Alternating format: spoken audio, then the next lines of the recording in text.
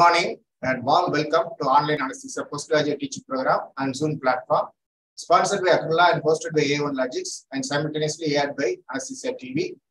Today we are having two important topics on uh, total intravenous anesthesia. The first topic is on principles of total intravenous anesthesia, the basic pharmacokinetics and TCI that will be delivered by Dr. Ashok Kumar sir.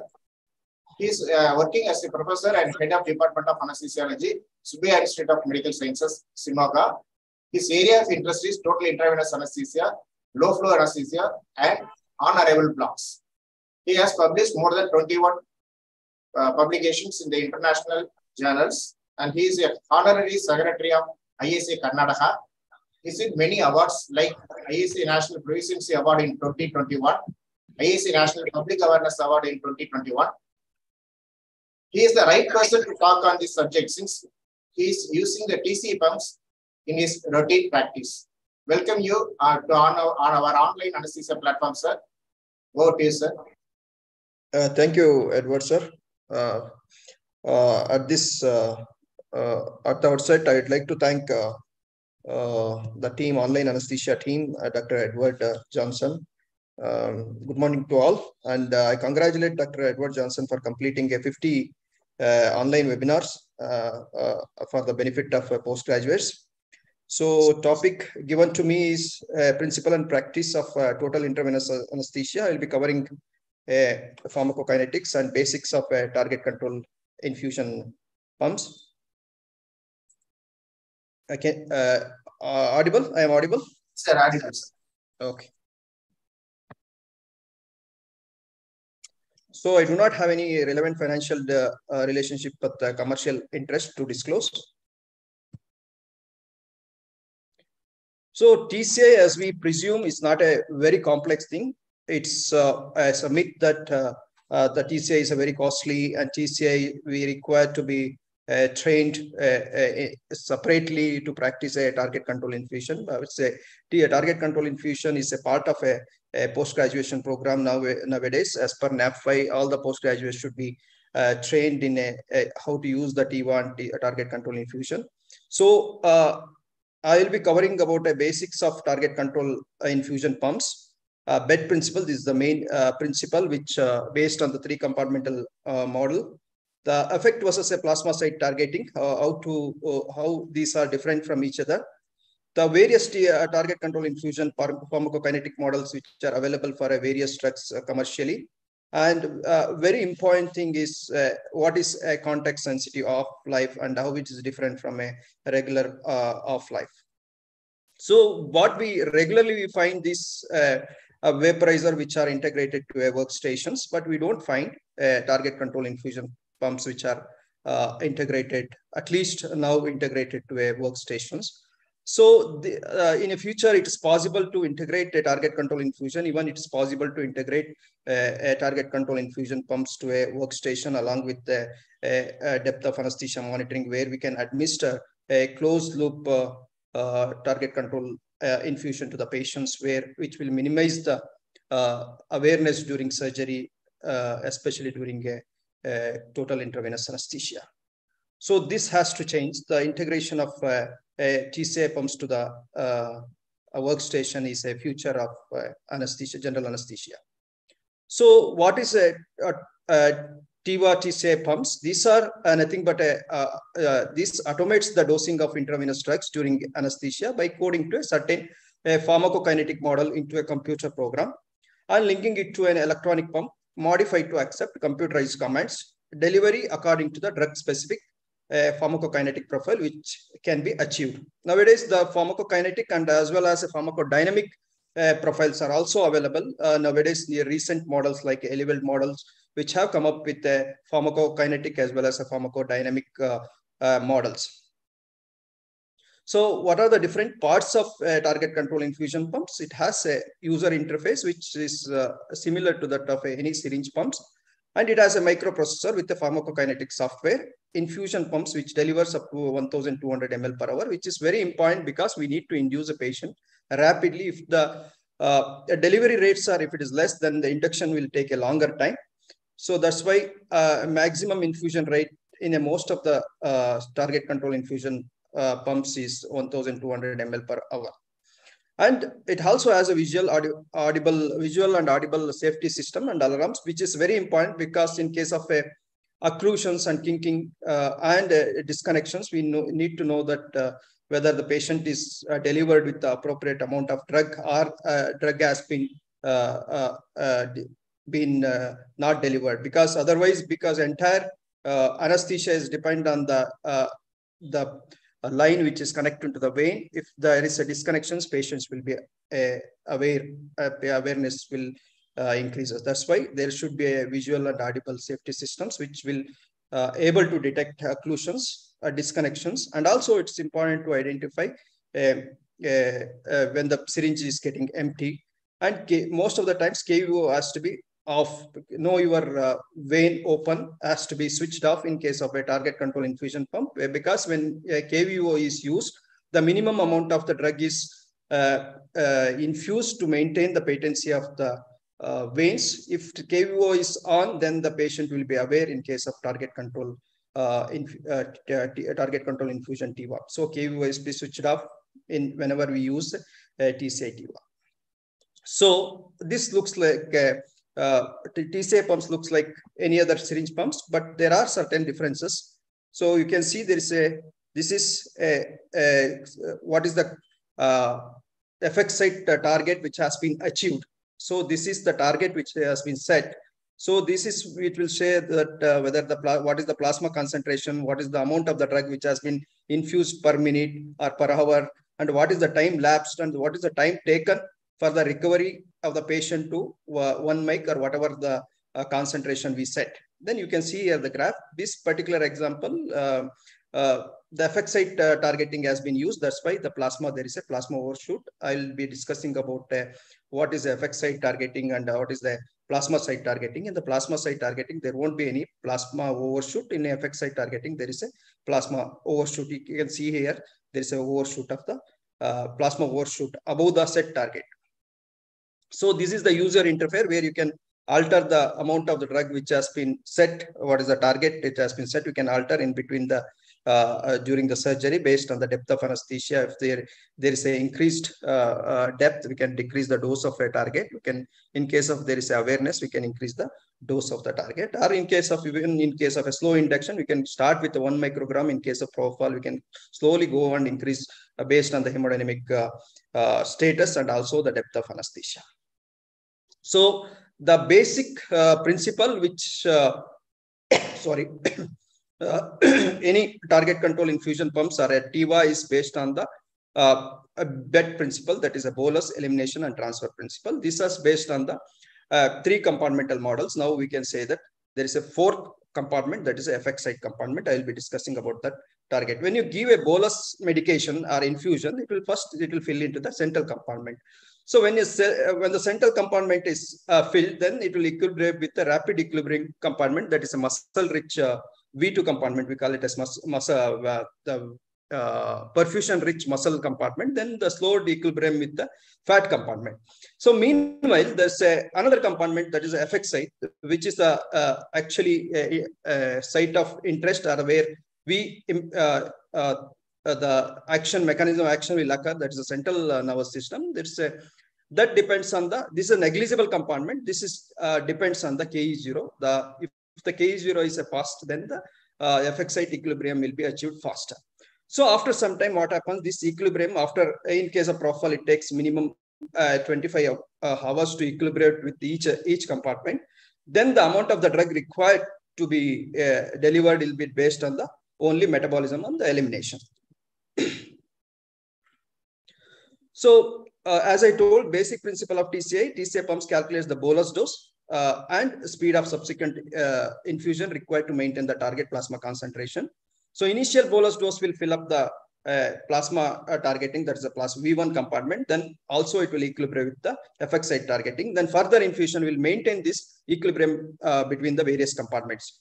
These calculations are occurs every 10 seconds, which is impossible in a regular syringe pumps. So, and infusion rates are uh, adjusted until the plasma or effect site concentration is achieved. The diffusion of drug from a plasma to a brain occurs exponentially with a first order uh, constant that is a K0. If the K0 is a faster, then the uh, the uh, equilibrium achieved between the effect site concentration, uh, effect site uh, and the pl plasma will be faster. So why we have to use, we have been using in a postgraduate days, we have been using this intermittent bolus of a propofol, continuous infusion of a fixed doses. Why we have to use the uh, target control infusion at present. Suppose when you use a intermittent dose, you can see here, there is a, a, peak, then followed by a nadir. Again, there is a peak followed by a nadir. Then it goes on increases. Then peak goes on increases as we give an intermittent bolus. Then it will be more than a therapeutic range. So initially it will be less than the therapeutic range. So patient will be aware. So over a period of time, this the peak will be more than a therapeutic range. Then it will cause the overdosing of a drug and increase the depth of anesthesia and associated hemodynamic consequences and delayed recovery. So what happens if you give a, a fixed rate of infusion, suppose 1 mg per kg per hour like that? if you give a infusion like this, then what happens is there will be a slow reach of a therapeutic range. Then initial uh, part, their patient will be aware. Then over a period of time, the therapeutic, it will be overshoot the therapeutic range, then the patient will have hemodynamic alterations. Most of the times, this will cause a, a, awareness during anesthesia. When you give a fixed dose infusion, then, then over, if you infuse for a longer time, then there'll be a delayed recovery uh, from the anesthesia. So uh, the TCI is important instead of intermittent or continuous infusion of fixed dose uh, therapeutic uh, drug for to achieve the therapeutic concentration. So you can see here. So initially, if you there will be aware, then the, as, a, as the duration increases, infusion duration increases, then there will be amount of the con plasma concentration will overshoot the therapeutic range. You can see this in the example. Just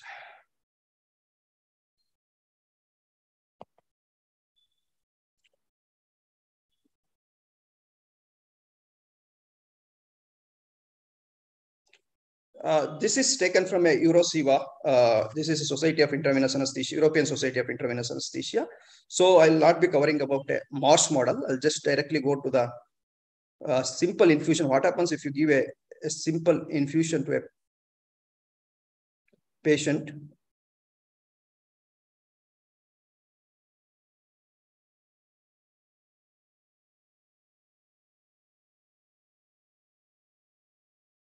Okay, you can see this is based on the uh, three compartment model. Uh, there is a uh, one, uh, there is a V1, that is a vas uh, the plasma compartment.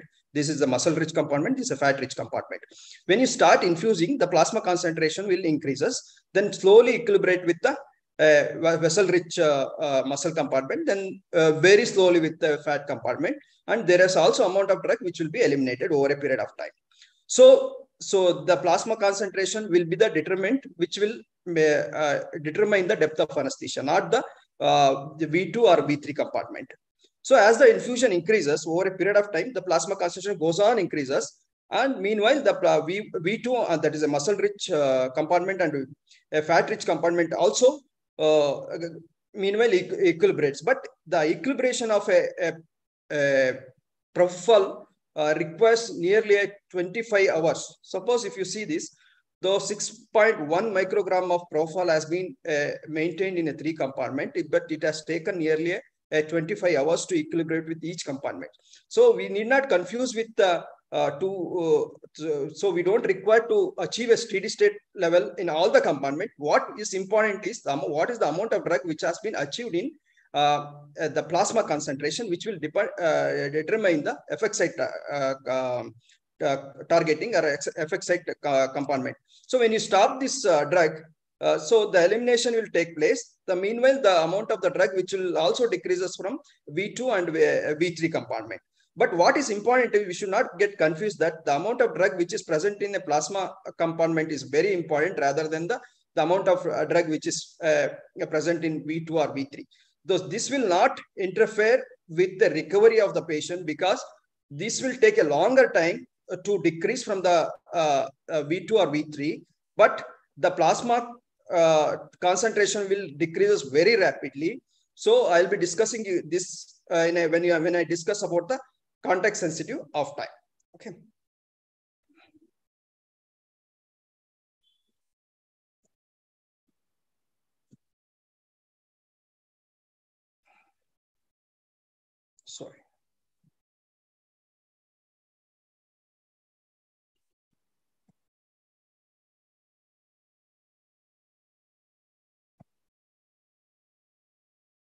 So uh, uh, there is another technique which was uh, very commonly used.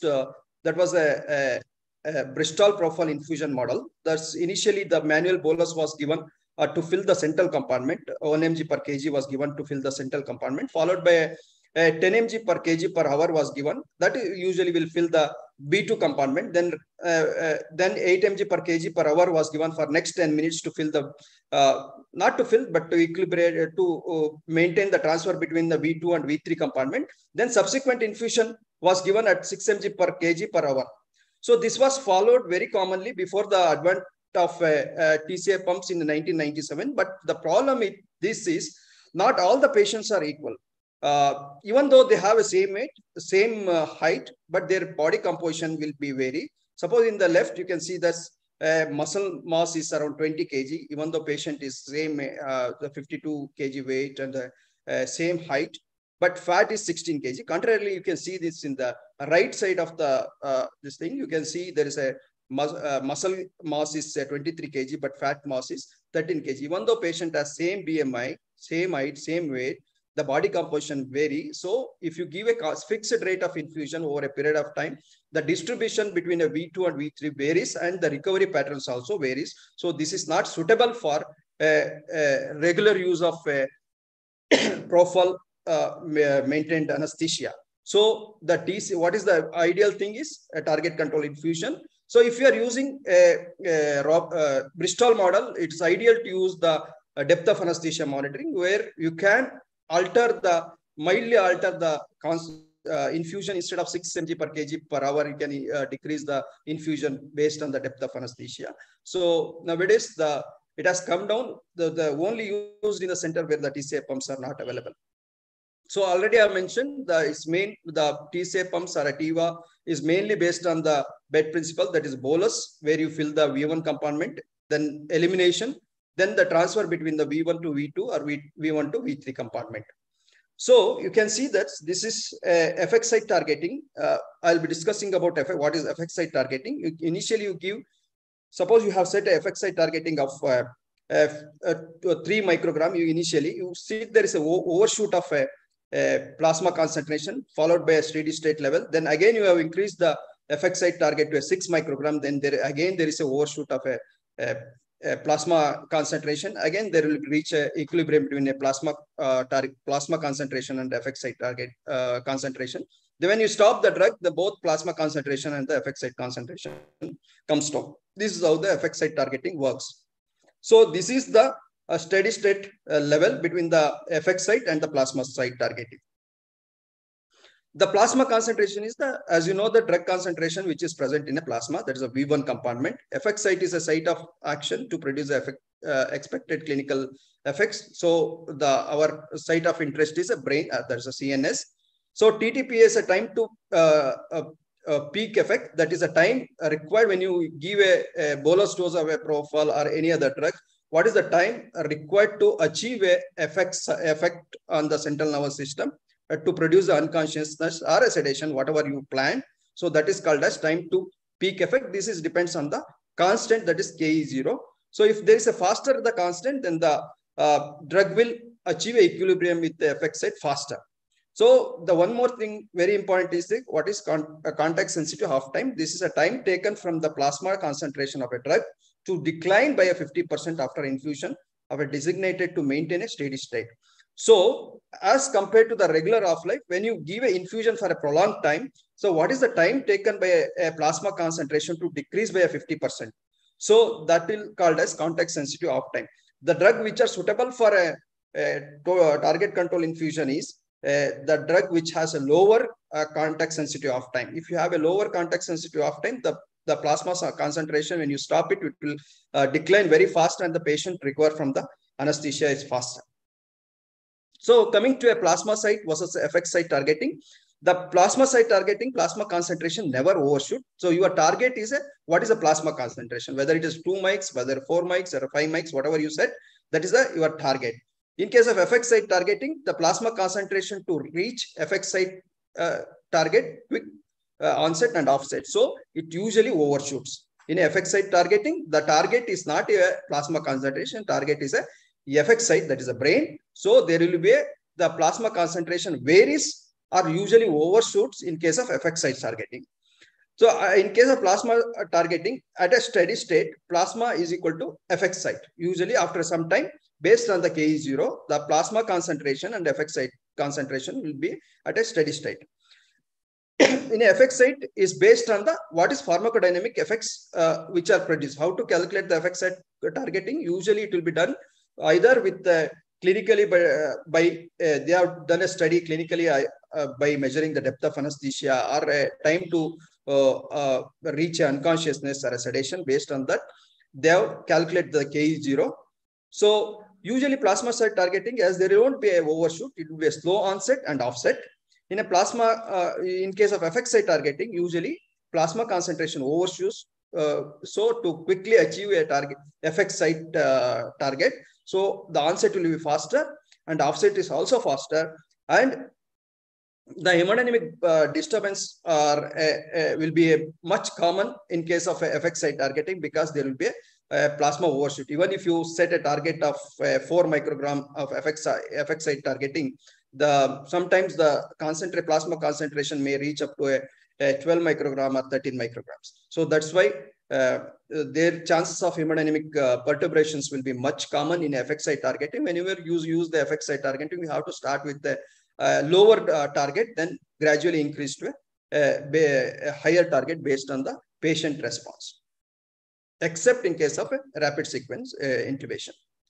So you see here in the graph, uh, you can see here, this uh, left side is a plasma uh, TCI, this right side is a effect site TCI. In the left side, you can see the the plasma concentration and the target never overshoots. So green color is a effect site targeting. It takes a longer time to achieve a, a, a effect site uh, steady state. You can see this, it takes a longer time. The amount of a uh, propofol administered also will be less in case of a plasma, uh, plasma uh, TCI. Here you can see this red line and orange lines. These are plasma concentration and plasma target and it's a effect site target you can see there is a plasma overshoot. There's a red color. There is a overshoot of plasma target. You can it has reached almost to 11 microgram. And the uh, time taken to reach effect site target is much lesser. So effect site uh, targeting, the time taken to reach a, a effect site will be much lesser, uh, lesser and uh, patient will be, a, it produces more faster uh, um, effect uh, or patient will be more uh, unconscious or it produces a faster uh, decrease in the depth of anesthesia when you use the effect site targeting. The, but amount of the drug which will be used in effect site targeting will be a faster, higher. Okay. So there are various models which are available. I'll first I'll discuss with the pro, what are the target control models, uh, infusion models which are available for a propofol. So there are mainly uh, four models, uh, Marsh model and Schnider models, which are commonly used for uh, adults and the and Paedfusor models, which are used for a pediatrics. In case of a, a, certain parameters are fixed parameters, certain parameters are variable parameters, and it depends on either weight or weight with other parameters are fixed. In case of Marsh models, all rates are constants. So the, all the rates are constant. That is uh, K1 to that uh, the distribution between the V1 to V2 compartment, V1 to V3 compartment, and elimination constant and K0. These are all fixed. Uh, this thing. Variable parameters are V1, V2, and V3. These are variable. These are varies with the weight of the patient.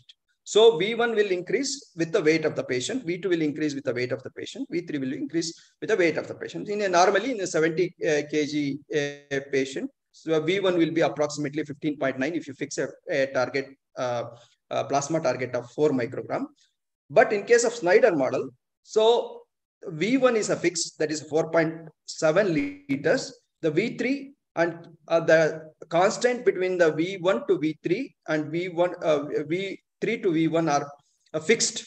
Means irrespective of the patient V1 is 4.7 liters. So it cannot be used for a pediatric patients. So V1 is always uh, uh, fixed. So we can't use it for a pediatric patient. But certain variable parameters like V2 and a distribution between a constant uh, uh, a distribution between a V1 to V2, V2 to V1, and elimination of life are a variable.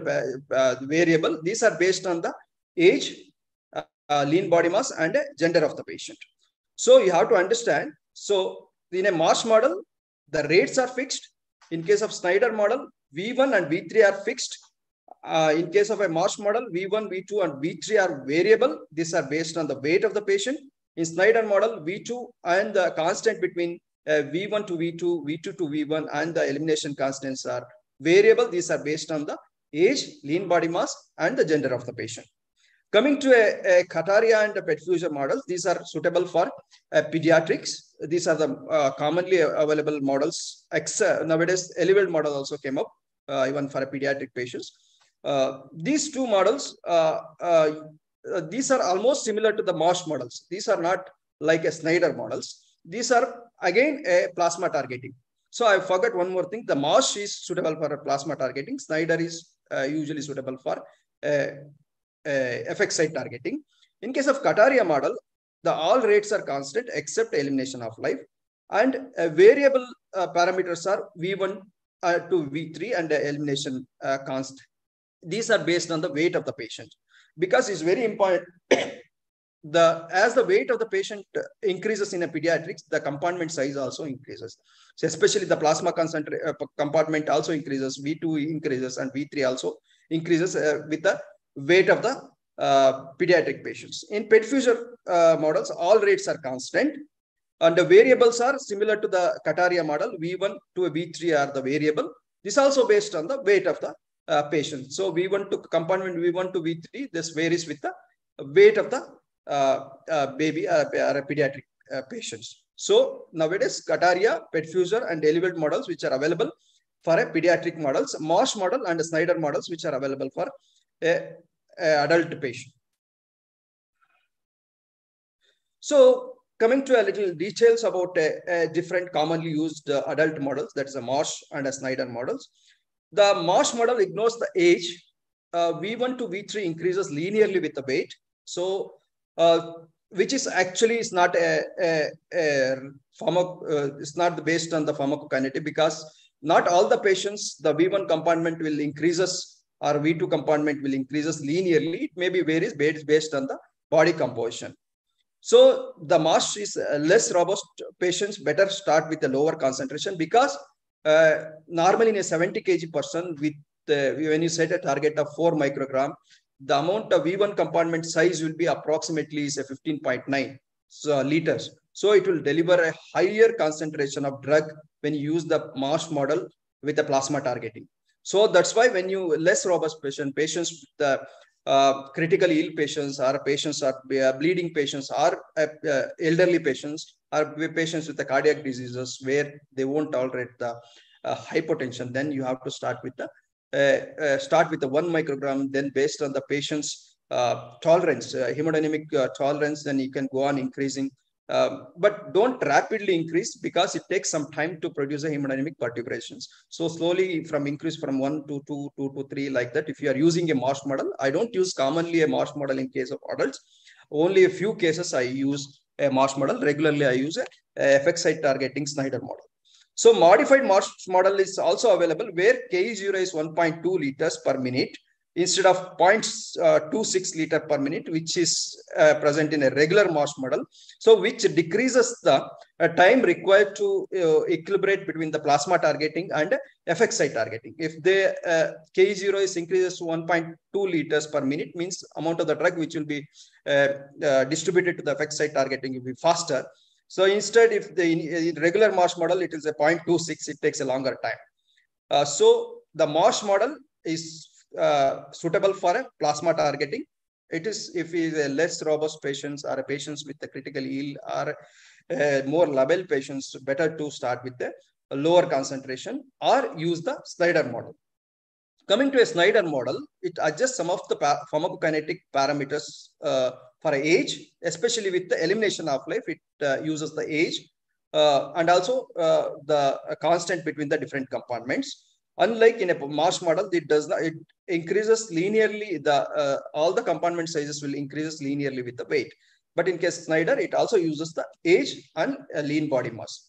Lean body mass and age and gender is used to calculate the elimination half life, ideally suitable for effect site targeting. If you use the plasma site targeting uh, Schnider model, then the amount of the drug delivered to the patient will be much less and the chance of awareness will be more because the it is a uh, V1 compartment is fixed that is almost uh, 4.2 liters. So amount of the drug delivered will be very less. So Schnider model plasma targeting is not suitable.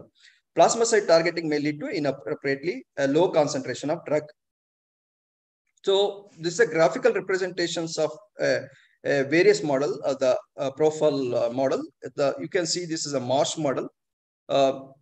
Uh, the, the plasma targeting. When you identify a plasma targeting, there won't be any plasma overshoot. The target and the set target and the achieved target will be remains and the, the effect site will take a longer time. You can see this, this is a Marsh model. So he, the, here the plasma targeting Schnider model, which is not used regularly because it produces inappropriately very low concentration of a, a, drug in a plasma. So the Marsh model, you can see this is a, a modified Marsh model uh, where the plasma overshoot is there. This is site targeting. So amount of drug uh, which is delivered to the plasma is also very high because of plasma overshoot. Then the uh, time taken to reach the effect site will be faster. Uh, coming to a Schnider model, so there is a plasma overshoot.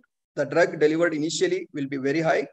Then the uh, time taken to reach the effect site targeting also uh, very fast. So Schnider is uh, for a postgraduate level, Schnider model is suitable for uh, site targeting. Marsh model is suitable for uh, uh, plasma targeting. the PET and Kataria models already discussed. Both use a weight as a key patient characteristics because plasma compartment and a V2 and V3 compartment also increases with the weight and the age of the patient. So uh, it uses the weight as a main criteria to uh, uh, determine the V1, V2, and V3. The Kataria model is validated to use in a patient between the age uh, 3 to 16 years with a minimum weight of 15 kg. The Paedfusor model is a variant of a Marsh kinetic model. Uh, it is between the 1 to 16 years of age uh, and also uses the weight to calculate the elimination constant that is K10. So nowadays, uh, uh, given Eleveld model has uh, come up, it can be used from 27 post gestational age to 27 to a any age, uh, maybe uh, maybe 88 uh, years of age, it can be used, and it can be used as low as one kg. But these are not suitable for such a low weight. Paedfusor and Kataria models are not suitable for such a low weight. Minimum weight is required is 15 kg in case of a Kataria. So coming to a newer model, that is allometric uh, model, which is based on the pharmacokinetic as well as a pharmacodynamic uh, uh, calculations. So which is uh, developed based on the uh, uh, bispectral index. So this is studied on nearly 1,033 patients it has studied and one tenth more than 10,000 uh, profile samples were taken uh, to calculate the what is the exact amount of drug is required to produce a, a, a determined effect site uh, effect in a patient. This is how the effect is calculated based on the bispectral index. And uh, suppose if you are given a four microgram of a drug, then they will at the four microgram, what will be the depth of anesthesia? Then they will calculate, and it will be it is it was calculated in a varied uh, group of uh, patients from a neonate to a elderly with a high BMI patients. So the, uh, this is calculated both for anesthesia as well as sedation. The model should be likely to be useful target control infusion in anesthesia and sedation in a population in a wide range of uh, age and body weight because uh, regular models which are uh, used uh, nowadays that is a Schnider or a Marsh models which are not suitable for a body mass index which has more than um, 42 in case of male and 37 in case of uh, female but uh, allometric model can be used for higher body mass index also. Mm. Coming to a, a, a which is uh, a Minto models is commonly used. We don't use because remifentanil is not available. The Minto model is applicable to wide range of patient and characteristic. Age is uh, used for a calculation of pharmacokinetic parameter. A gender-specific lean body mass is calculated and used to uh, tune some of the parameters to the patient. The Minto model uh, for a remifentanil can be used uh, in a, effect site uh, targeting mode, but normally it is used for a, a plasma site targeting. But nowadays, they are based on the certain EEG parameter they use uh, for a effect site targeting, which is not suitable. So Minto model is ideally suitable for plasma site targeting. uh, dexmedetomidine is just a more upcoming and promising drug, which is commonly used for sedation in case of a, a NORA settings or a bronchoscopy. So dexmedetomidine was delivered through a TCI by a Dyck model. Uh, uh, so now most of the uh, pumps, newly coming up pumps are uh, having a, a Dyck models. These pharmacokinetics of dexmedetomidine are best described by the three compartment model as I described. Uh, previously, height is the best predictor of a target setting. Effect site concentrations were a model from a bispectral index, uh, both for sedation and anesthesia. But there are a controversy whether the bispectral index can be used for the uh, determine the effect of a dexmedetomidine. that is yet to be validated. So, what is the disadvantage of a target control infusion? So there are multiple assumptions. Ke0 calculation, how to calculate the Ke0? That is the, how, how much time to uh, uh, time required to uh, equilibrate between the effect site and the plasma site. That is based on initially based on the clinical parameters like uh, how much time the patient uh, time taken to lose the consciousness. Now the bispectral index or uh, entropy was used to calculate this thing. But there are multiple assumptions to calculate the Ke0 and then the fast and slow compartment equilibrium, again, there is a uh, uh, fast and slow compartment. These are some assumptions that there is a constant. Uh, is not precisely uh, validated how much time take to uh, equilibrate between the fast compartment and the slow compartment. And elimination uh, half life, elimination, how much time it takes to eliminate and what are the elimination. There are the the elimination, some are depends on the different enzymes or uh, some are depends on the liver some depends on the renal system. So so elimination is not validated uh, exactly. So these are made based on certain assumptions. The, then there is a potential source of error. So we need to use the closed loop uh, target control in, uh, infusion especially when we are using a, uh, a neuromuscular blocking agents the awareness during a uh, TIVA TCI is uh, more common when the neuromuscular blocking agents are used. So the uh, uh, Euro uh, European Society of uh, Intraven Intravenous Anesthesia recommends that. So whenever you are using a TIVA TCI with the neuromuscular blocking agents, use a, any form of a depth of anesthesia. So there is a prolonged uh, uh, concurrent hypotension and low bispectral index associated with the increased um, mortality and increased hospitalization, especially after the cardiac surgery. So uh, use the bispectral index. So never make the isoelectric uh, bispectral index should not be a, a, a isoelectric because if it becomes isoelectric in especially in a patient elderly patient, uh, it leads to a increased chances of postoperative delirium. We have seen that uh, the if you uh, reach for a brief period there is there is a burst suppression, then there is increased chance of uh, um, delirium postoperatively. So avoid burst suppression, especially in elderly. So maintain between around 30 or 40, preferably 40 uh, to 60 in case of anesthesia and around uh, 60 to 80 a, a bispectral index score for a sedation. Uh, so don't decrease less than 30.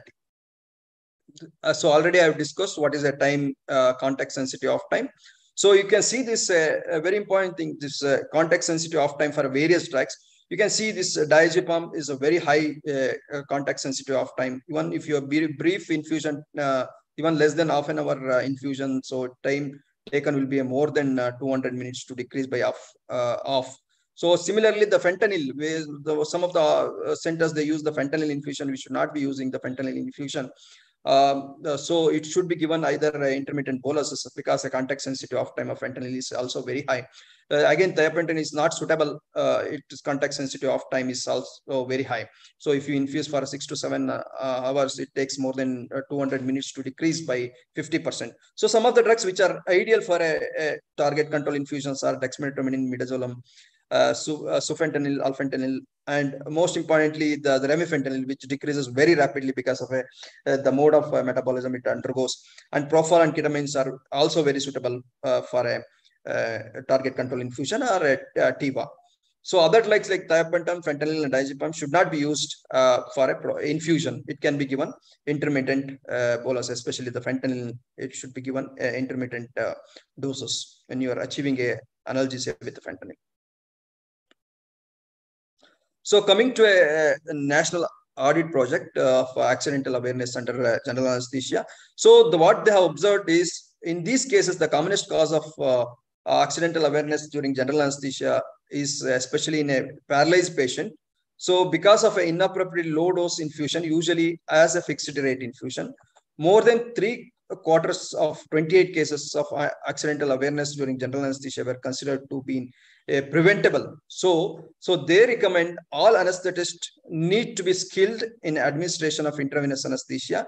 And these results suggest that is not currently the case. Means even in a European settings, the regular training of postgraduate, uh, especially uh, the administration of uh, uh intravenous infusions of anesthetist was uh, re not regular. So these po postgraduates and uh, junior resident has to be trained how to administer the target control infusion or even without a target control infusion, TIVA, how to administer the TIVA. It should be the regular practice in a postgraduate program.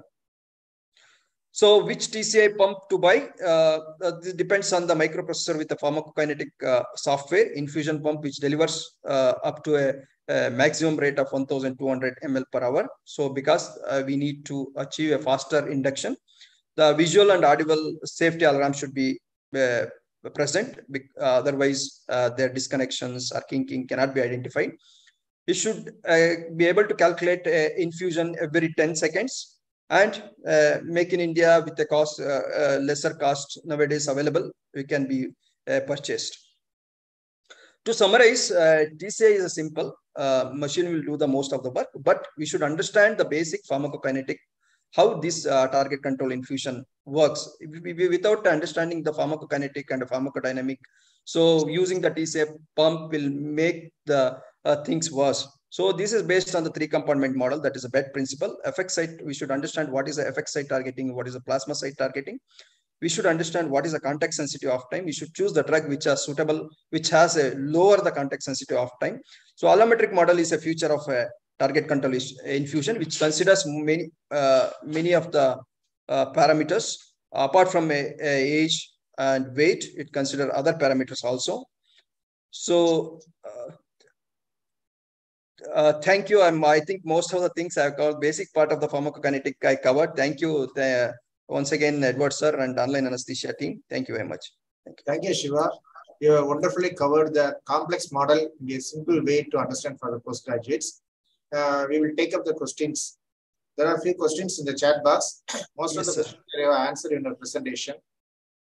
So the once again they are asked, oh, what is the key difference between the Marsh model and Schnider model. We can say it in one word. Uh, the, the Marsh model is actually there are uh, uh, the variable parameters are V1, V2, and uh, V3. This varies with the weight, and it is based. Marsh model is suitable for a, a plasma targeting, and uh, uh, Schnider model is suitable for effect site tar targeting, and V1 is fixed there, where V1 is almost 4.12 or 4.2 liters.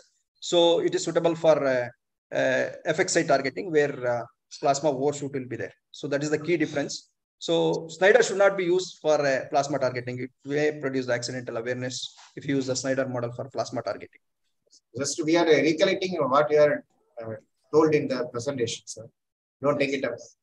so, so what is the what is the special consideration for the pediatric patients regarding the uh, volume of the compartment distributions?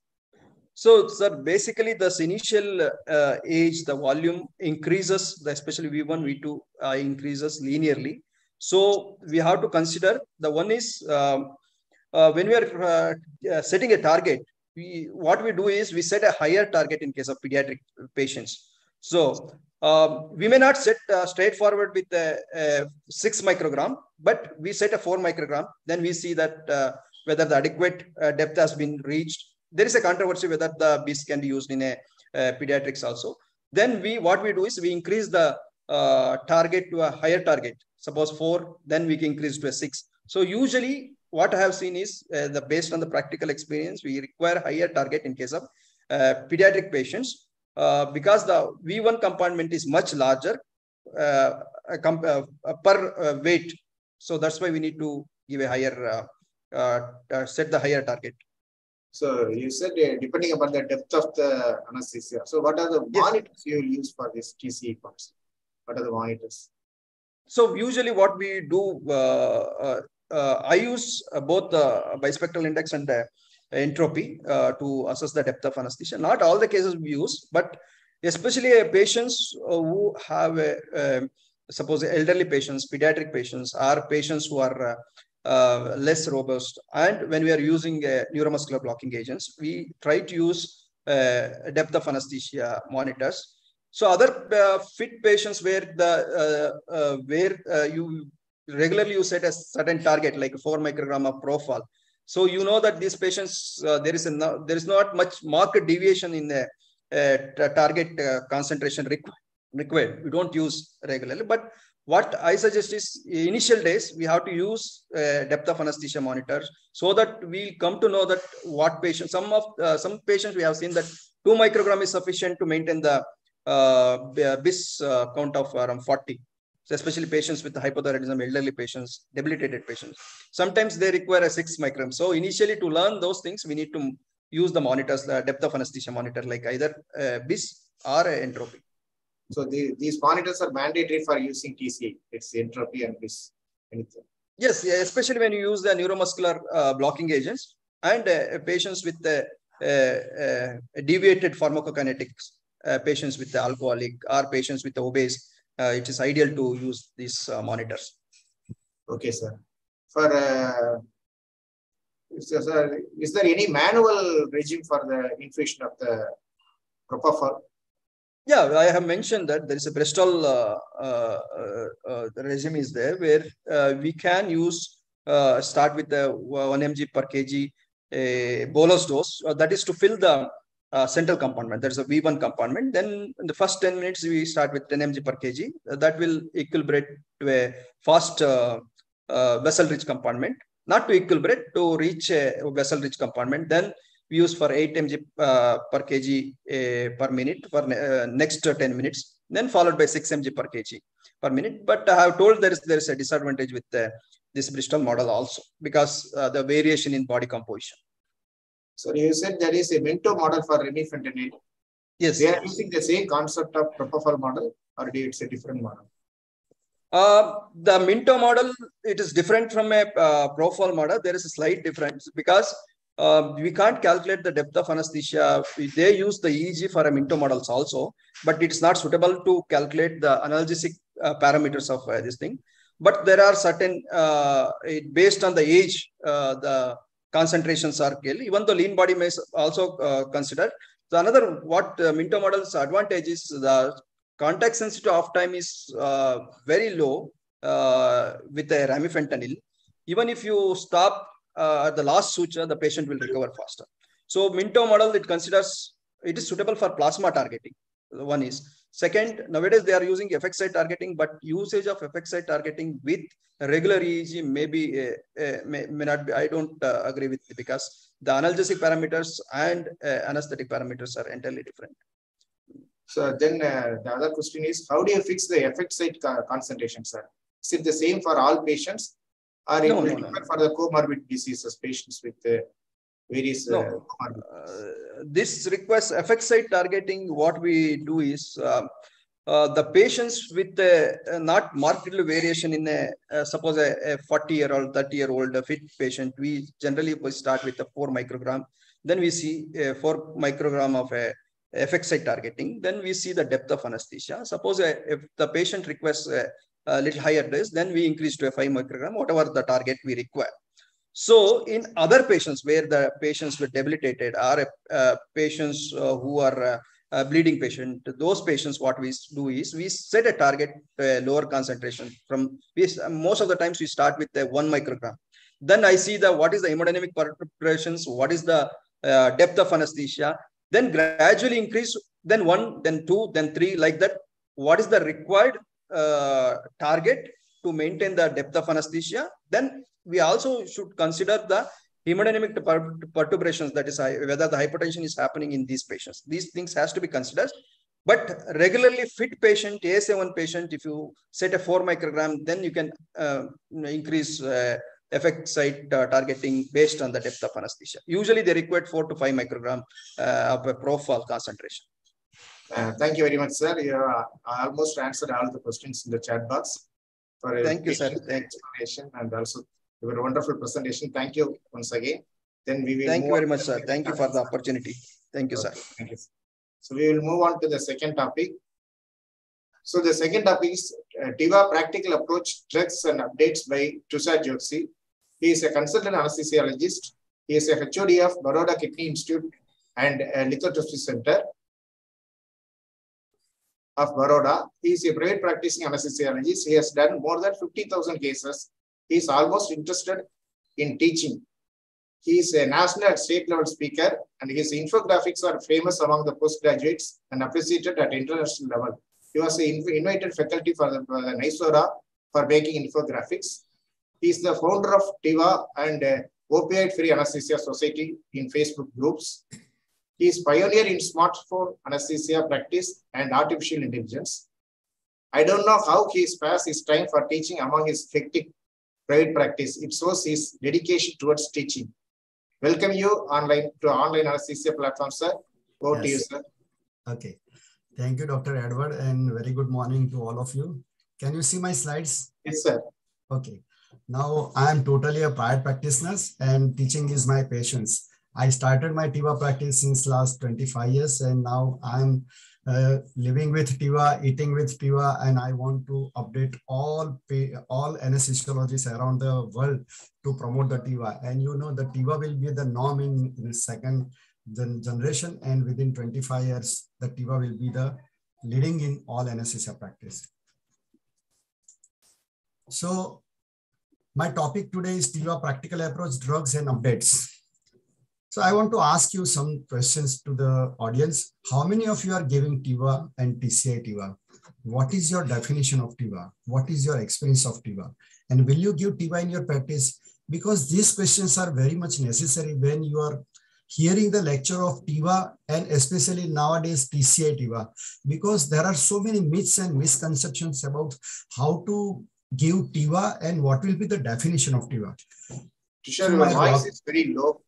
So my lecture lecture roadmap is history, definition, types of TIVA, indications, advantages, disadvantages, TIVA drugs and TIVA combination, which drugs we are using, and which are the drugs will be combined for the uh, uh, starting people, those who are who wants to learn the TIVA practice. Methods of giving TIVA, like syringe infusion pump, target control infusion, Dr. Shiv Kumar has told, I have created my own infusion that is Tushar Chokshi infusion and closed loop systems.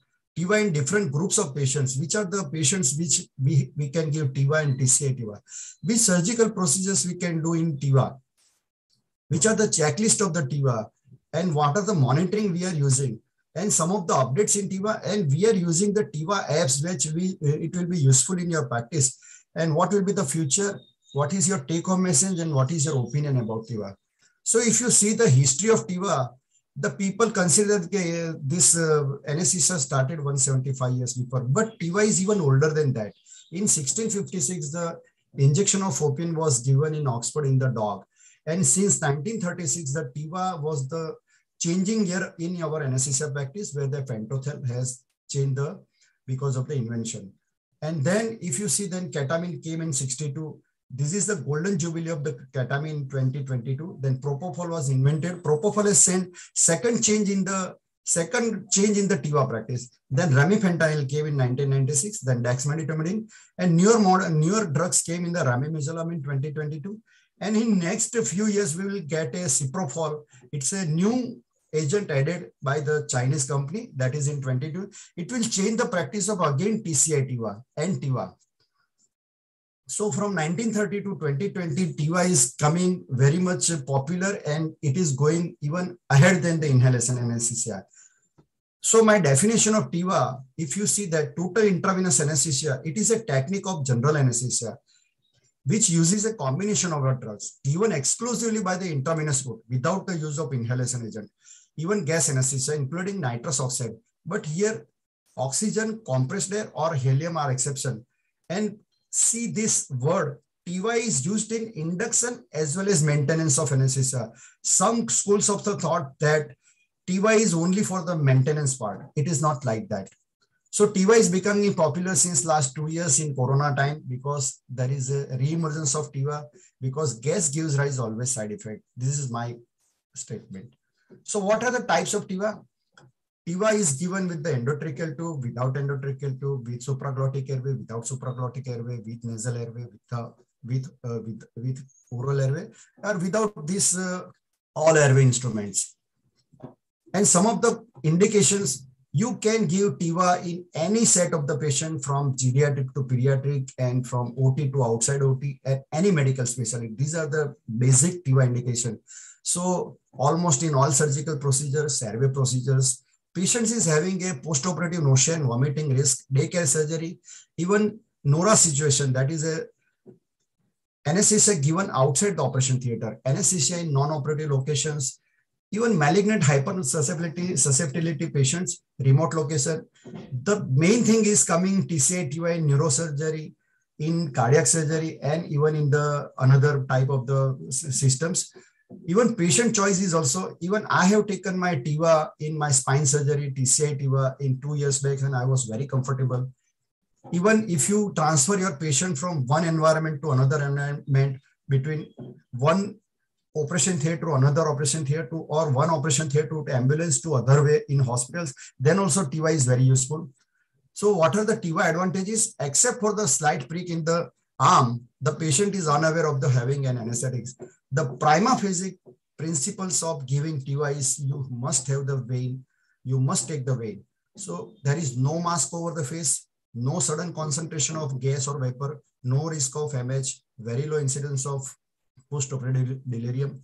And in this era's, uh, uh, era's um, yug, um, age, the less chances of emergence phenomena. There should be no smells of volatile agent because we are not using any inhalation agent. Reduce stress response. I know when I was practicing practicing 20 years back without these uh, uh, vaporizers like Goldman vaporizer, at the end of the day, I was having a stress and I was the smell were coming from the my clothes when I go to home. And I was stressed. I was a little bit sleepy. But nowadays, the this all this thing has changed because of the newer anesthesia uh, workstations and this uh, uh, TCI agents. Patient wakes up like it's from the natural sleep. Less operating room pollutions, so it's a planet well-being also with the TCI TIVA. And you mind well that in space also, there are three anesthesia given by my Israeli friend, Paul Zilberman, who, is, who was anesthetist. He's anesthetist, and he has given TIVA in even space anesthesia. In war situation, ambulance transfer, and unexpected condition, you do not think except TIVA. So TIVA favorable, TIVA is favorable to almost all systems like immune system, cardiovascular, even oncology, renal, gastroenterology, neuro, central nervous system. You name the system and TIVA is favorable. But the coin has two sides. There are some disadvantages, but I don't consider that is a main culprit of this using TIVA or TCI TIVA. First is pain on injections. Injection is irreversible. Disposable may be costly. Nowadays, disposables are uh, not that much costly when I was looking back 10 years back. Incidence, incidence of awareness if you are not giving properly or if you are not using any monitors. Undetected error in delivery devices. Not having another apparatus to carry on the TIVA. Possibility of the not finding vein. Sometimes if you, if you are not able to find the vein, then you cannot start your TIVA practice. Shallow respiration, risk of bacterial contaminations, and difficulty in knowing blood concentration sometimes we have learned in our anesthesia residency program that okay, what is anesthesia circle. Here, TIVA completes the anesthesia circle with the hypnosis, sympatholysis, amnesia, hemodynamic stability, immobility, and neuromuscular blockade. You have all the liberty to have these effects. So what else you required in TCI, TIVA, or TIVA practice in your practice? Which are the drugs we are using in TIVA practice with their advantages? Almost all the drugs like benzodiazepine, narcotics, propofol, ketamine, or induction agent, dexmedetomidine, even etomidate, muscle relaxants, and other adjuvants like diclofenac, paracetamol. I will come later in all the drug list. They are easily available in almost all operation theaters and outside operation theaters. And all these drugs can be given to any subset of the population from pediatric to geriatric with easily titrable dose. So we have ample of liberty to use TIVA drugs instead of uh, only one inhalation. If you go long back uh, in this uh, inhalation agent, then after sevoflurane, there is no invention of this any inhalation agent. But this TIVA drug is a continuous process. They are inventing one by one drug every two years. So these are the TIVA drugs. These are the anesthesia drugs was invented in last 175 years. almost 60 drugs, 66 drugs are invented. Out of that, we are using 45 drugs in our practice, including inhalation agent, local anesthetic agent, but we have a, uh, a chance to use TIVA, TIVA drugs, almost all TIVA drugs in our OT, and there are more than 25 drugs in our weapon. So what is ideal in TIVA drug? Rapid onset of action, rapid and predictable recovery, potent and lipid soluble. Even it is water soluble and it is stable in any solution, chemically compatible with other drugs. No perivascular sloughing, not absorbed by any plastic, does not promote bacterial growth, devoid of any side effect and low cost. And my most important thing is I consider ideal TIVA drugs, it can be mixed two TIVA drugs or even almost three TIVA drugs can be mixed with each other and we can give these drugs to any sort of the patients without any complications. So these are the TIVA tool drugs box, which I put in my OT and even outside OT. That is all benzodiazepine, propofol, ketamine, dexmedetomidine, dexamethasone, magnesium sulfate, all muscle relaxants, opioids, lidocaine, clonidine, diclofenac, and paracetamol.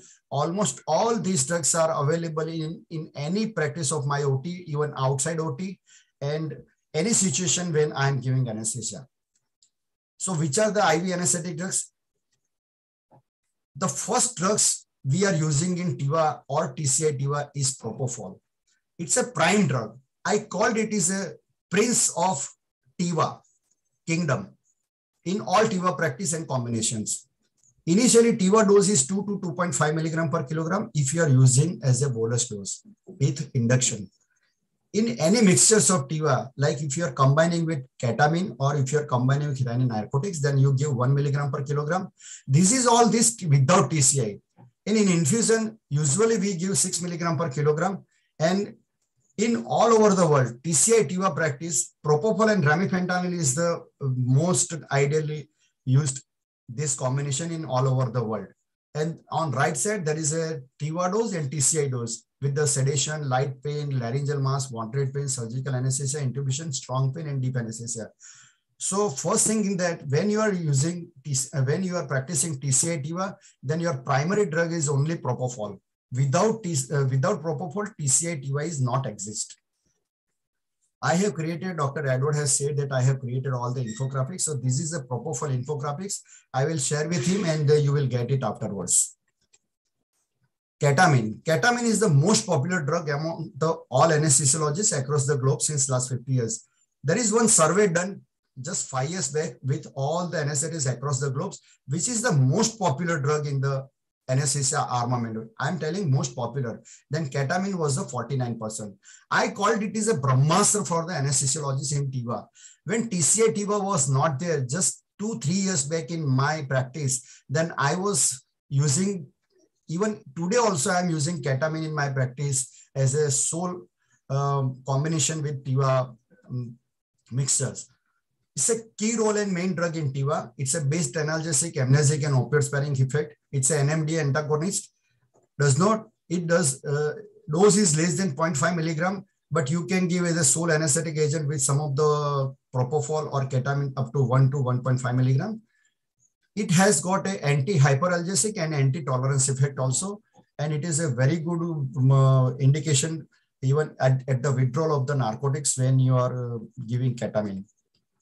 Ketamine TIVA, it produces rapid hypnosis and profound analgesia. It can be mixed with all types of anesthetic and narcotic in a single syringe.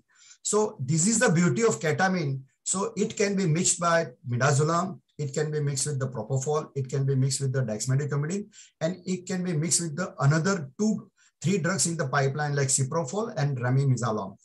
It is a very much established drugs for the TIVA This is ketamine infographics. One of the most uh, used drugs in nowadays is dexmedetomidine. I call dexmedetomidine as the most ideal anesthetic agent nowadays. Dexmedetomidine has got an analgesic and anesthetic effect, hypnotic, sedative, and it is 7 to 10 times more potent than the clonidine. It is a most ideal anesthetic agent. It has got even opioid sparing effect. And you know, in pediatric TIVA, without TCI, Dexket combination is becoming very popular in pediatric TIVA or opioid-free anesthesia. And you find in PubMed more than thousands of articles about this Dexket since last two years. Here the patient is sedated, sedated but arousable. So it is, I called it is a conscious sedation or physiological sedation.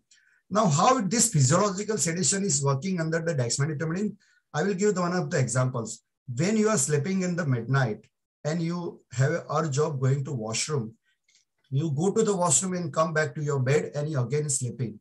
So that is the way the dexmedetomidine also give rise to sleep. It is called a conscious sedation or arousable sedation or physiological sedation. This drug is becoming widely popular in all over the world in all anesthesia practice. The dose raising dose is given 0.5 to 1 microgram and maintenance infusion is 0.6 to 0.7 microgram per kilogram per hour. And I told you that in pediatric TIVA, DEX is with ketamine is combination is mostly preferred. And I used to give even in my ENT practice, urology practice, or even gastro practice with now Initially, I was uh, using ketofol, that is a ketamine propofol, but now I have switched over since last two years to cat dex, dexket. This is dexmedetomidine infographics. Now I am promoting since last three years dexmedetomidine in use of the all the private practitioners in my area, and I have created one this prayer for all people. What dexmedetomidine says? Hey buddies, I am dexmedetomidine. My pet name is Dax. I'm your complete friend to play with you in all games, IV, IM, oral, spinal, and nasal. But my favorite game is intravenous with all stages, sedation, hypnosis, analgesia, and anesthesia. I love to play with the small babies, to old age players. So okay, this dexmedetomidine can be given to all age groups. But during playing with me, be careful. I am very delicate. Fall down with the weak players because it causes hypotension as well as bradycardia. I can also play in indoor stadium. It can be given in ICU patients continuously for 48 hours, not more than that. I'm always available to play with you and allowed me to play with others. Let us play, enjoy with me and don't me. So I will recommend all the listeners in YouTube and this forum to use dexmedetomidine in your practice frequently. One of the drugs which I'm using uh, very occasionally in my cardiac patient, that is etomidate. It's a very cardiostable drug used mainly in hemodynamically compromised patients, and it is given in sedation, TIVA, ICU, and in geriatric patient in the dose range from 0.1 to 0.3 milligram per kilogram body weight. This is etomidate, uh, this uh, infographics. Recently, since last six months, I have started with etomidate plus ketamine combinations for at least 10 patients, and I'm very happy. Some of the opiates we are using in TIVA practice, that is fentanyl and remifentanil. I'm not using fentanyl in my practice, but remifentanil is not available. Nowadays, my practice is Optiva practice. That is opioid-free total intravenous anesthesia practice because of my, since last two years of corona practice. Fentanyl is given is a 3 milligram per kilogram over 30 seconds, followed by 2 microgram, then 1.5 microgram, then 1 milligram per kilogram, which was I was practice. Now, remifentanil is, Dr. Siu told that it is not available in India, but we are fortunate within six months, two companies are coming in India to with the remifentanil. It is available as a 1 milligram per vial, 2 milligram per vial, and 5 milligram per vial. Initial dose is very 1 microgram per. It's a very short acting drug and a very beautiful drug. You see all over outside India, all the countries, more than 190 countries are using this remifentanil in uh, all the anesthetics. But India, we don't have this molecules, so we are not able to use. But in TCI TIVA, remifentanil is remifentanil propofol is the leading in this practice. This is fentanyl infographics. This is remifentanil infographics. And the, the new agent I told you in 2020 by Japan, this remimazolam came in pipeline. And this is the third situation in 775 years in TIVA that first in 1936 where the pentothal was introduced in 1977 when the propofol was introduced and in 2020 when the remimazolam introduced in this world it has changed the anesthesia practice it is also called as a switch on switch of anesthesia with remimazolam and it has got a benzodiazepine and opioid property together it will be available. I don't know when it will be available. Otherwise, rest of the countries in all over outside India, like Japan, USA, China, and European countries, it is available. But mind well, it is when it will be available, it is will be 1800 rupees for one ampule. So very much costly. Some of the adjuvant TIVA drugs I am using, that is midazolam, 0.05 milligram per kilogram. Now I have stopped using these drugs but the thing you should uh, uh, remember that total dose should not be more than 10 milligrams. Midazolam infographics. One of the versatile drugs, old wine in a new bottle, that is magnesium sulfate. It's a main agent giving TIVA or even in any practice, like if you are giving spinal anesthesia, even any sort of anesthesia, I will recommend to use magnesium sulfate. It's an analgesic adjuvant useful in patient with recent total internal. It reduces propofol, dex, and atracurium, and it improves the quality of postoperative analgesia.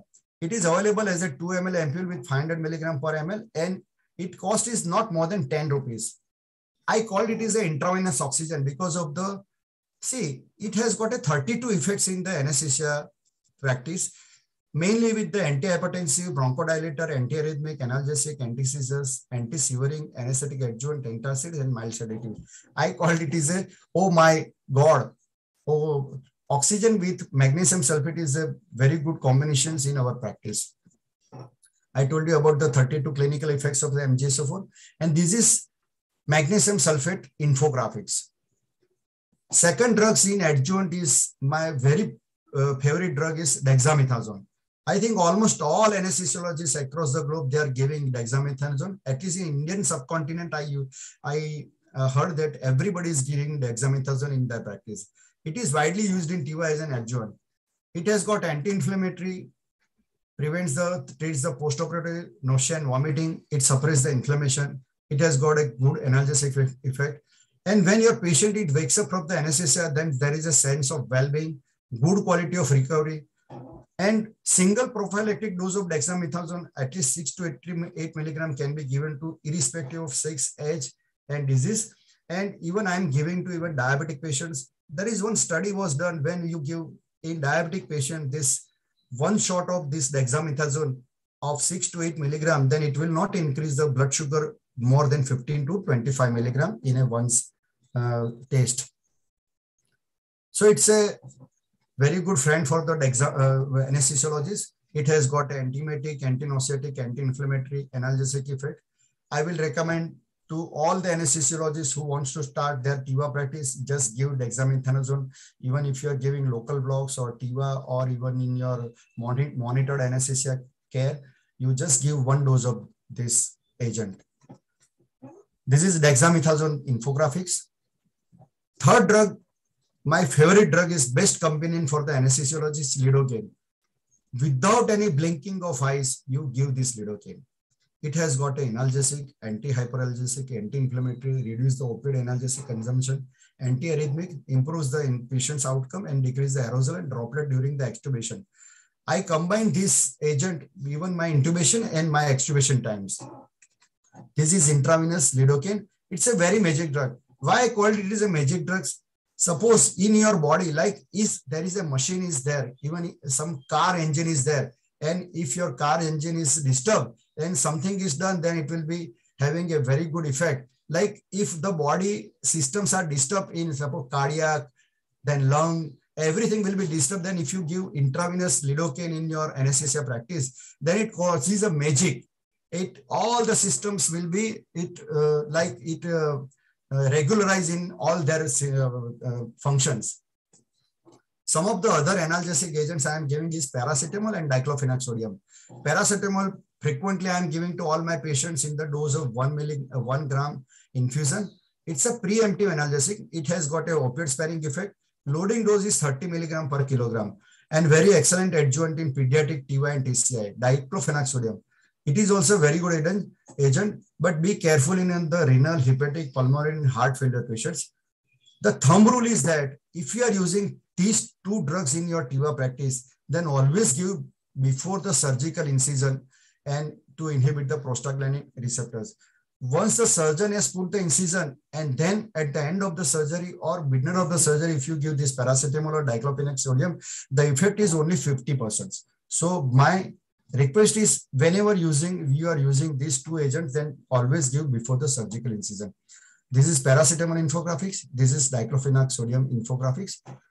Now, esmolol is esmolol is one of the good weapon in my TIVA practice. It has got a opioid sparing, gives central analgesia, And I called it as an emergency friend of anesthesiologist because why? I do a lot of uh, laparoscopic anesthesia. And in that, without anything, I start esmolol infusion in my all patients. Because it the beauty of this agent is again it can be given with the even more than two years uh, up to pediatric age up to two years of age. Because it is gives central analgesia.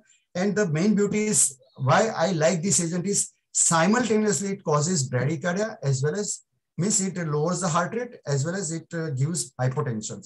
So I use this and I recommend that instead of other beta blockers, you start using esmolol. This is esmolol infographics. Now I'm a man of combinations. So I usually combine my all TIVA drugs. So what to understand before mixing any drugs for anesthesia? we have learned the anesthesia triangle or anesthesia prism. Then there are three components, hypnosis, analgesia, and relaxation. And any medications, any anesthesia drugs, any adjunct drugs enters this prism, they are going under the process of pharmaceutical pharmacokinetics, pharmacodynamics, and thermodynamics with mixing with each other. If you learn these principles, then you will conquer the combination of anesthesia drugs mixtures. So the rule is not mix more than three drugs at a time.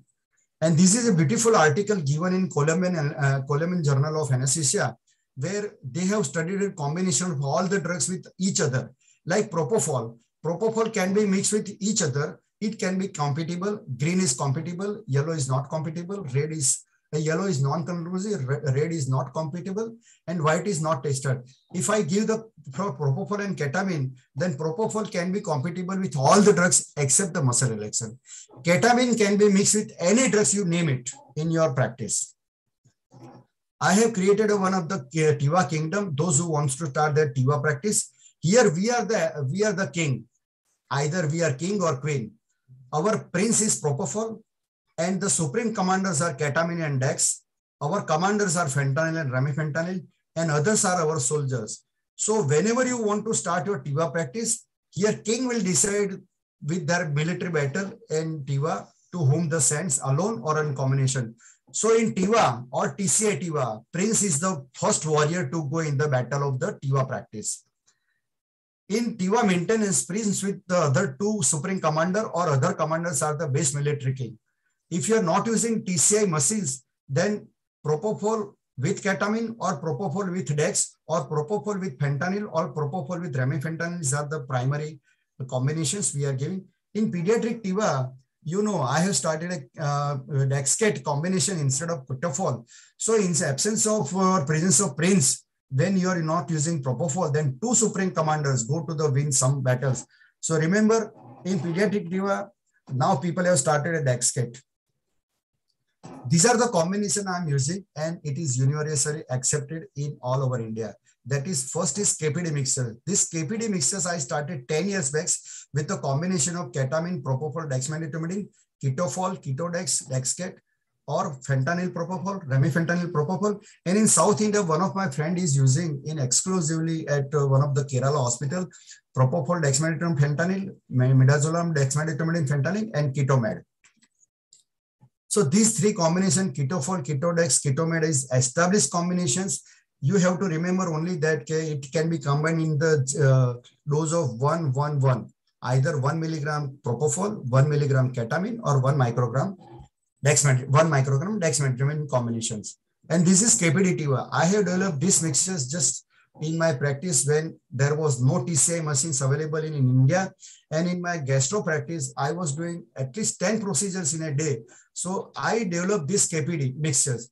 It's a mixture of ketamine, propofol, dex. It is a mixture with one milligram, one milligram and one microgram. Combination of all these drugs permits lower dose of each individual drugs. I use it as a bolus maintenance in short cases and it gives excellent analgesia and anesthesia to be uh, to tell you, I have completed more than 10,000 patients with this combination. Touchwood, there was no any uh, major problem. It decreases the dose of individual stable hemodynamics. It decreases the airway complication and it gives a rapid recovery. Propofol fentanyl uh, combination we were using frequently in our older days. Here, the only propofol dose reduction by 50% with uh, this uh, remifentanil. Now this RPTVA, remifentanil propofol combinations. Here the propofol dose is half, uh, reduced to half and uh, reduction is 50% and most widely used TIVA combination as Dr. Shiv Kumar has told in his practice in TCI.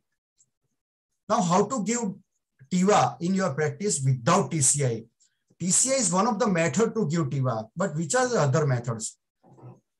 Either with a single drug or with a combination of drug. Either with a single syringe or mixture of the drugs or with only one drug. You have a single, uh, different, different syringe with the different, different drugs. Either you give it the continuous IV infusion through the drips or with syringe infusion pumps. This TCI machines or TCI pumps. And one of the established method is closed loop systems, automated drug delivery through this. Here also we can give. It was developed in India by Dr. G.D. Puri.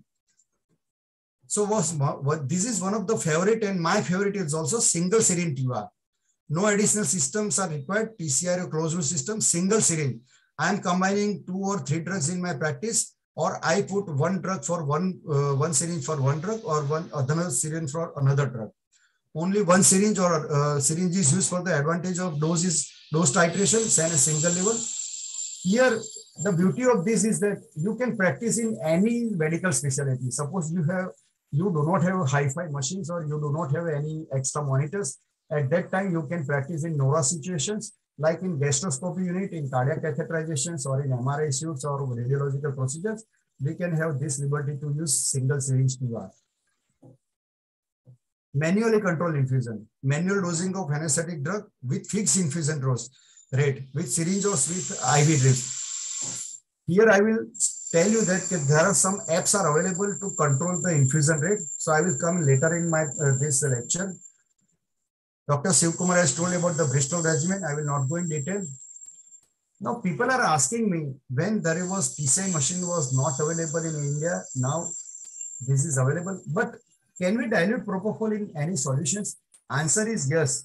The rule is you can dilute propofol in 5% glucose, 0.9% NaCl, Ringer lactate or DNS. The rule is that one part of the propofol and four part of the dilution. So when TCI machine was not available, at that time I, I was preparing propofol infusion.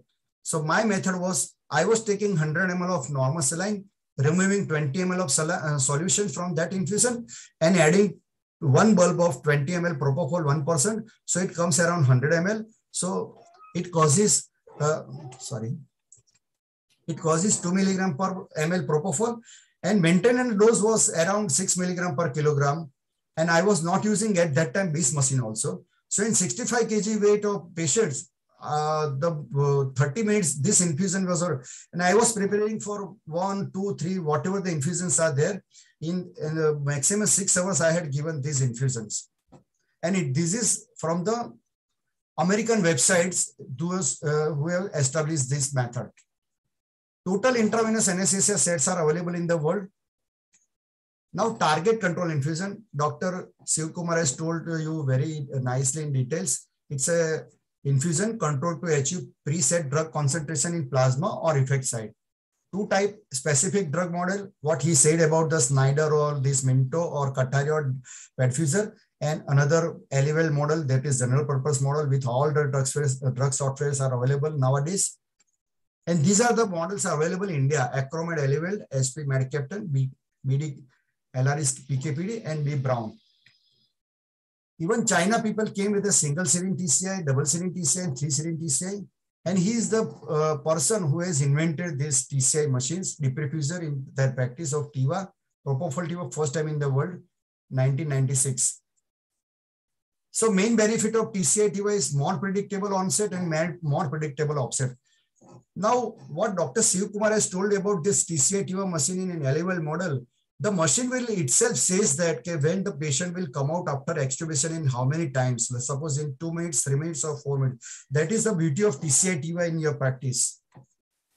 Even in Glasgow, patient control sedation by TCI, like patient control analgesia. So patient control sedation by TCI is also developed by these people recently in 2022.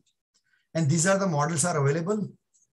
And this is a general purpose model one, one TCI pump for all the, uh, all the drugs with different drug software.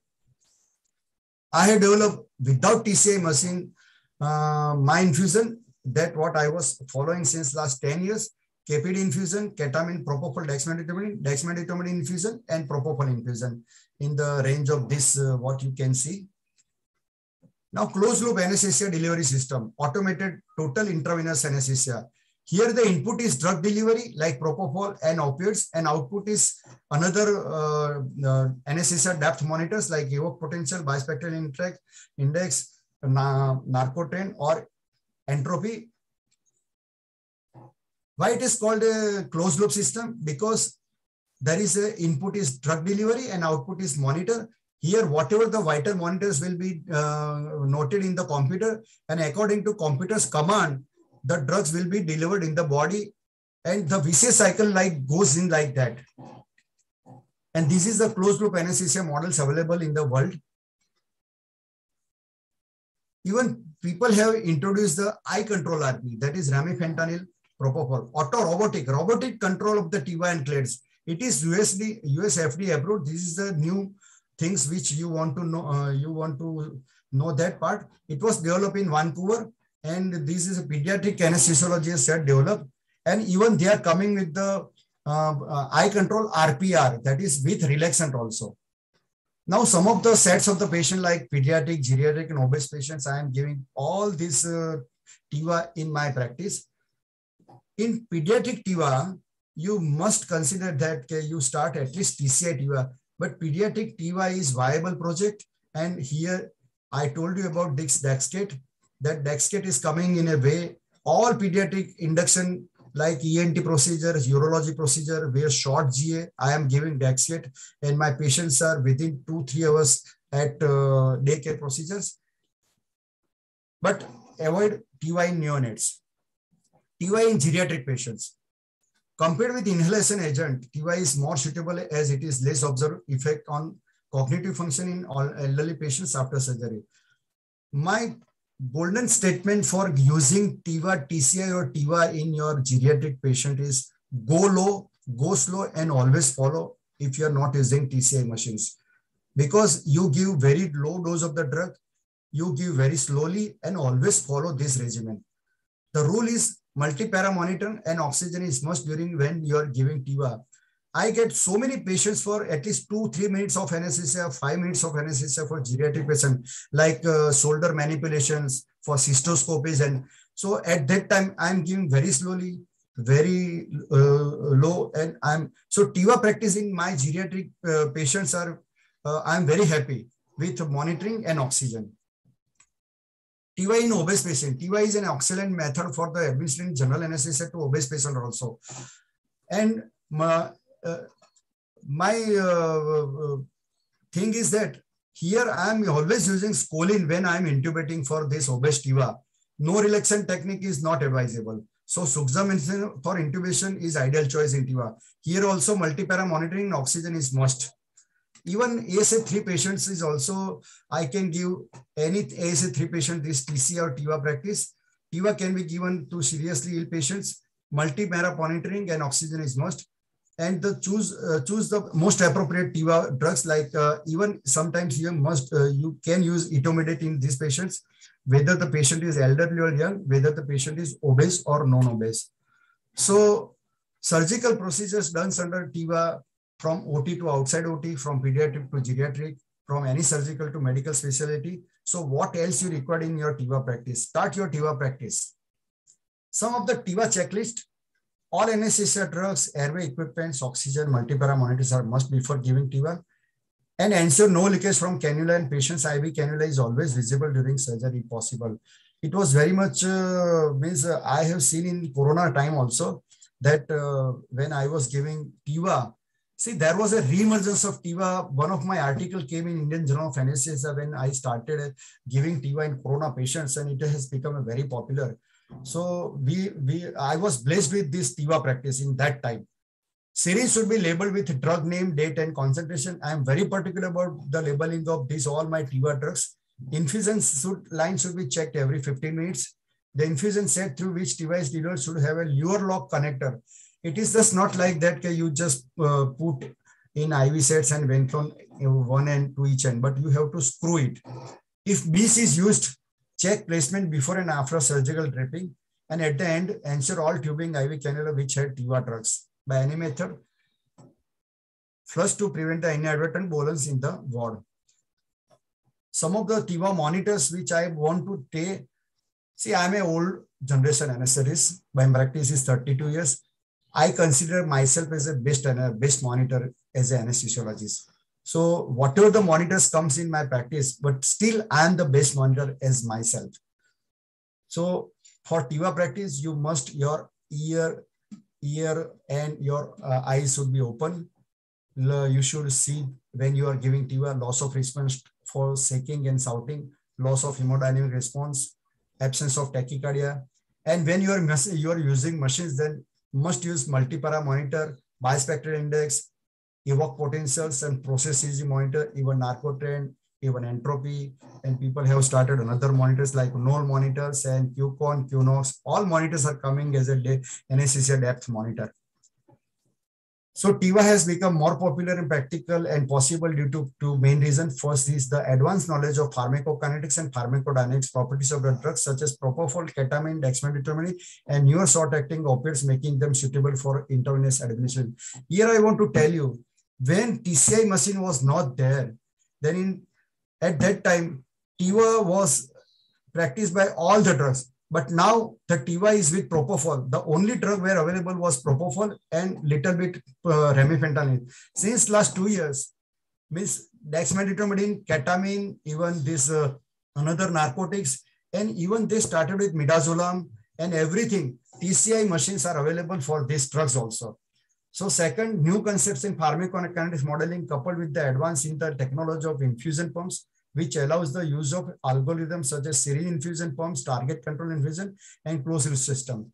The first generation TCI machines are now over. Now second and third generation TCI machines are developed. And still the propofol with remifentanil is rolling all over the world. Some of the TIVA apps I want to tell you, iTIVA. This is do TIVA with your smartphone in volumetric pumps in a pharmacokinetic manner. Then IV calculator infusion when you are not using your TIVA, TCI, TIVA machines. Then infusion calculator, anesthesia software. And this is the only books, textbooks are available in the anesthesia armamentarium by Absalom, that is target control in, uh, infusion. And these books are available with me in software copy. I will uh, give it to Dr. Edward and you will get it from him. So my uh, uh, downline is, down statement is TIVA is in fact patient friendly, surgeon friendly, anesthesiologist friendly, economically friendly, environmentally friendly, productivity friendly. So this is how it is used and TIVA will be a norm in future practice. In future, auto TIVA through artificial intelligence and metaverse with the help of TCI and BIS are available. That is a very wide topic when I have seen with my friends from Israel that how he has given TCI TIVA in space. Dexmedetomidine as TCI model by Hannivoort and Dyck launched in 2020.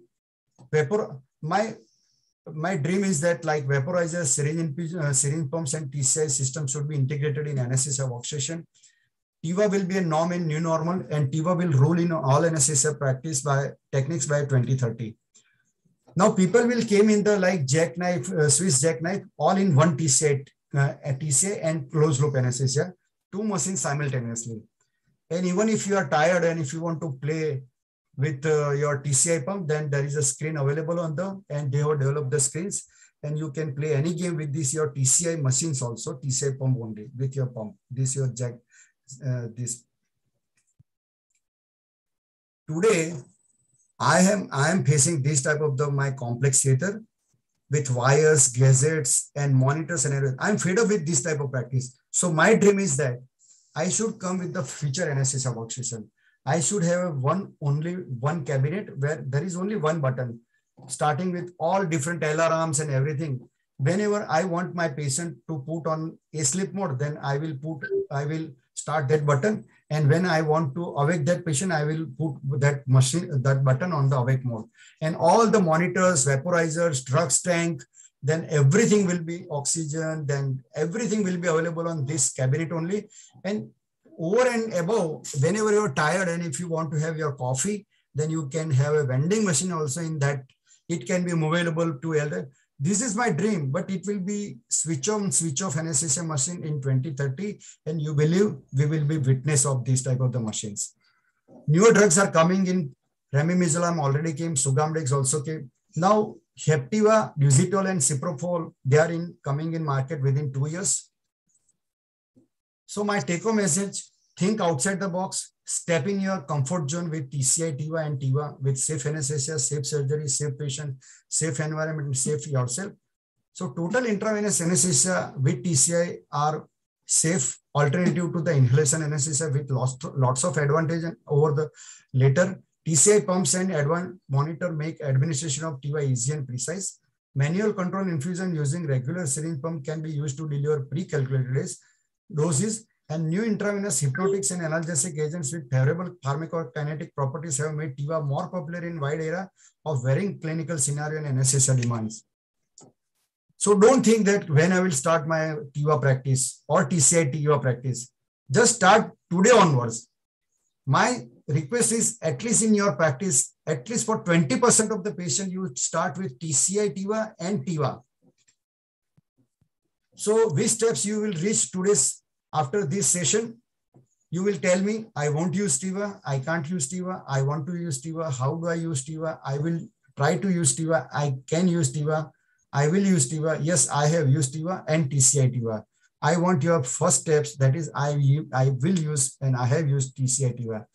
I have created a Facebook TIVA group. Just join it. There are different societies are available in the world. You can be a member of this society like EuroSIVA, World SIVA, and siva.aca.uk. And within two to three months, we are also forming ISIVA, that is Indian Society of Intravenous Anesthesia, with all the TCI lovers in the India. So always I love my TIVA and TCI TIVA. Thank you.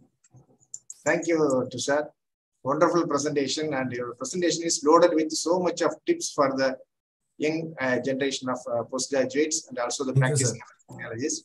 There are uh, many appreciation in the chat box also. Awesome presentation and wonderful future dream like that. There is a many comment in the chat box also for your wonderful presentation. Thank you, sir. Take questions in the chat box. Sir, can we use the TIVA in the MRI rooms? Do we have any MRI compatible TCI pumps? Yes, MRI TCI compatible pumps are available. How they are using? Suppose they have a pump, same pump will be used, but they have a cabinet which is compatible with the MRI machines, and they will put that TCI pump in that uh, cabinet, which is MRI compatible. That I had seen in this uh, Ganga conference. I think Dr. Siva has also seen this, and we can use TCI pumps in the MRI suits, but you should have a, that uh, outer box which are compatible with the MRI machines. Okay, sir. Have you used uh, TIVA in dental and eye optal practices? Oh, yes. That is called a monitor anesthesia care. That's what I want to tell you that TIVA can be practiced in any situation.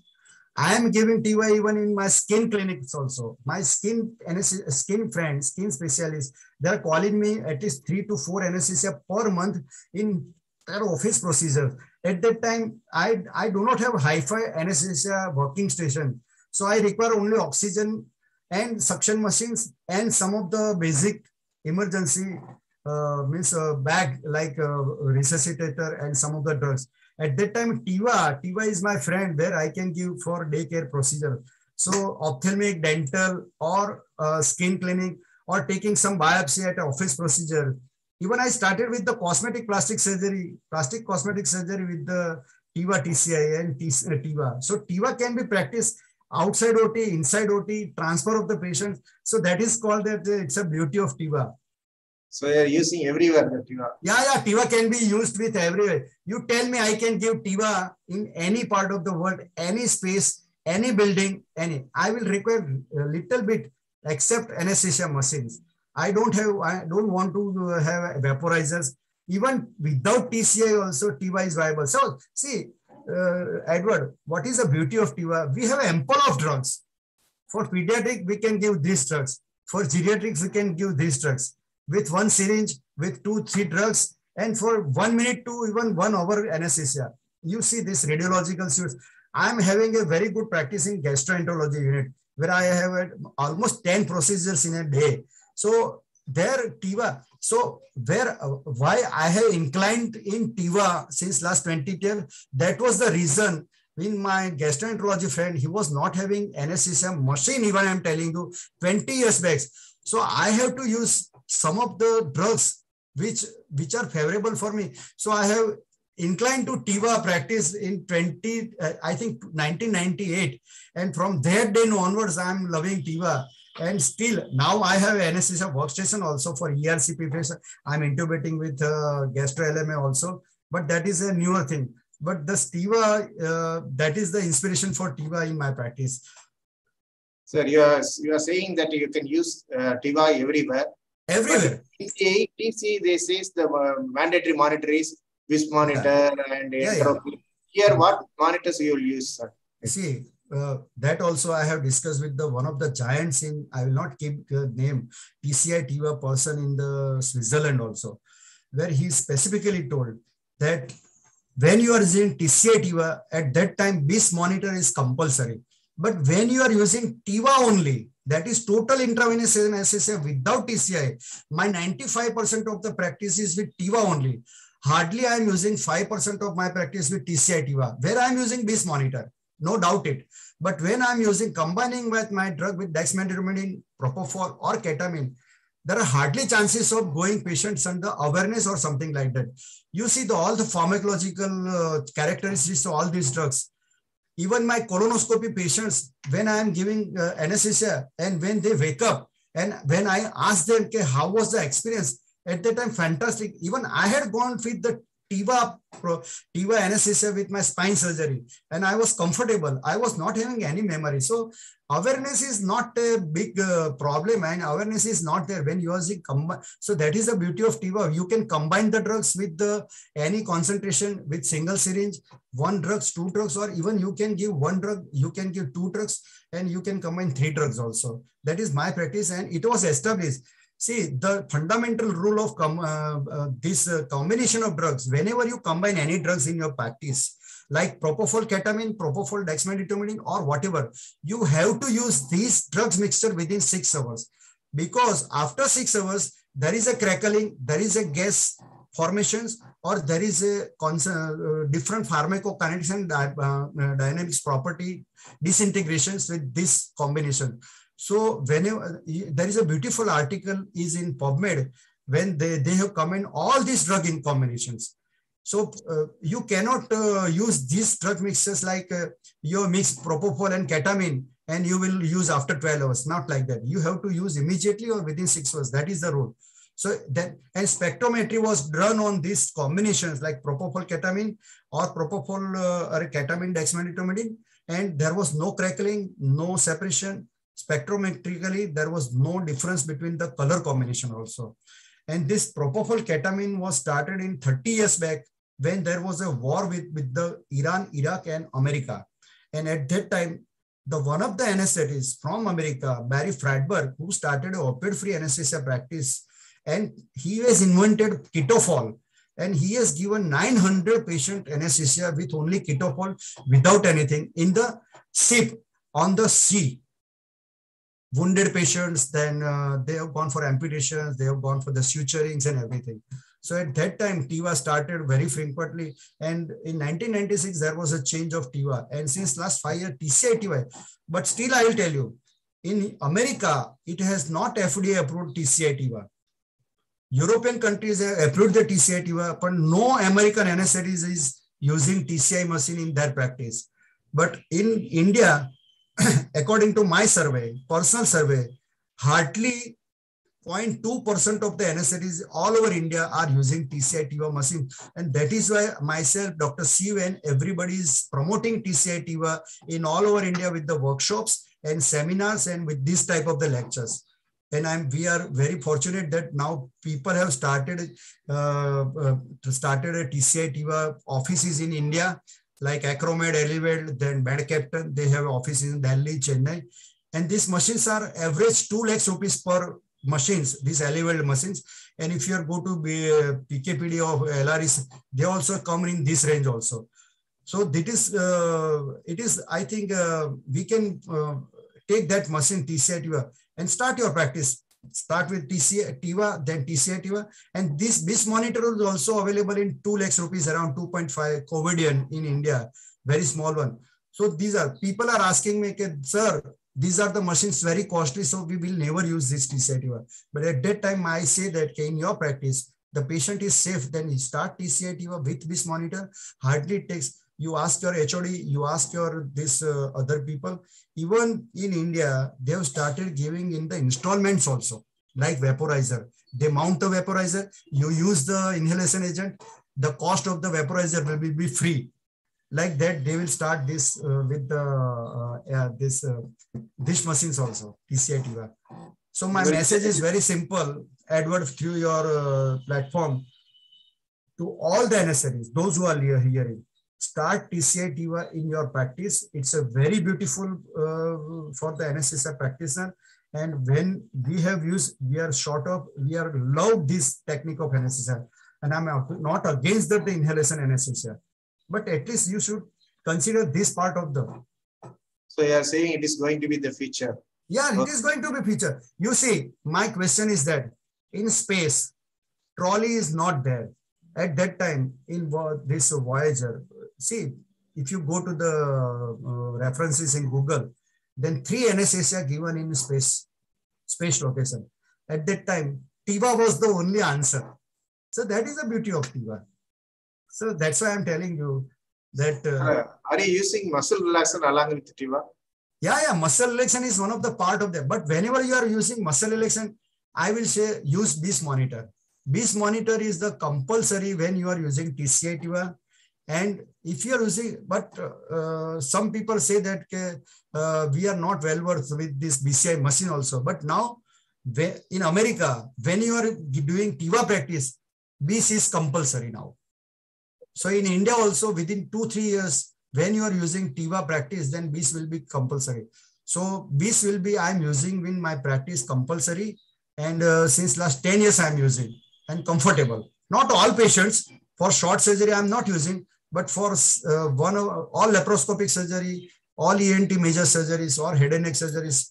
And I'm very comfortable with using. I put my patients around 45 to 50 of BIS and I'm comfortable. So what is that partial intravenous anesthesia? Is that any term called PIVA? Uh, partial intravenous anesthesia is uh, where, see, partial intravenous anesthesia means partial, means you use inhalation agent also in that part. But the inhalation agent is in a very low concentration. That also I'm using some laparoscopic anesthesia sometimes when when they put a trocar and they insufflate the carbon dioxide, at them there is a sudden hypertension. At that time, I have to start a low dose of the sevoflurane. Like that is called a partial intravenous anesthesia.